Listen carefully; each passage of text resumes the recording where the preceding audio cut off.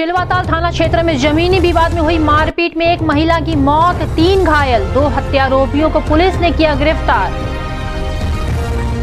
गुलहेरिया थाना क्षेत्र में नाबालिग किशोरी के साथ गैंगरेप का आरोप का आरोपित पुलिस गिरफ्त में।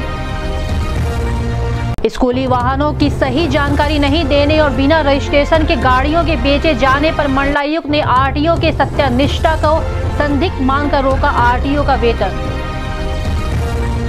एसपी सिटी की अध्यक्षता में संपन्न हुई मैरिज हॉल मालिकों की बैठक। हर्ष फायरिंग पर प्रतिबंध लगाने सहित अन्य व्यवस्थाओं को सुचारू ढंग से लागू करने के दिए निर्देश।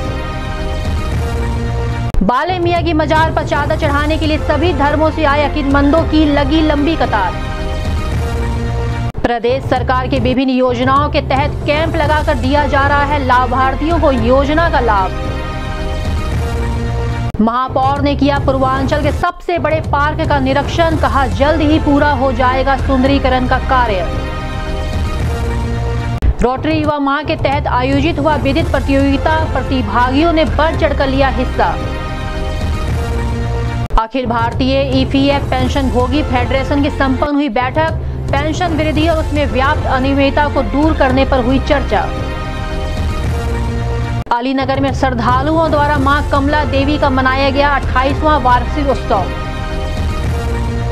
ऑल इंडिया आशा बहु कार्यकर्त्री कल्याण सेवा समिति की चेतावनी, मांगे पूरी नहीं हुई तो होगा आंदोलन। रेलवे कॉलोनी आवास पर गिरा विशाल काय जर्जर पेड़ बाल बाल बचे रेल कर्मियों का पूरा परिवार। और 20वीं अंतरवाहिनी पीएससी मध्य जोन जूडो, जन्माष्टमी ताइकांडो और वुशु के विजयी खिलाड़ियों को पुरस्कृत कर पुलिस महानिदेशक ने प्रतियोगिताओं के समापन का किया घोषणा।